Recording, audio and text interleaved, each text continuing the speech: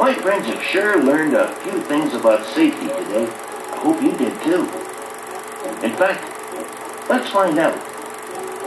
Let's see how well we remember our rules. One, before you cross the street, stop and look all ways. Two, always walk. Don't run when you cross the road. Three, stay far away from parked cars. Four, always play in a safe place, like a park. Five,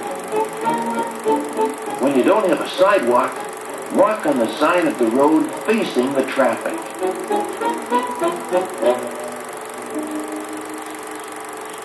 I'm glad you came along with us, and I hope you had fun.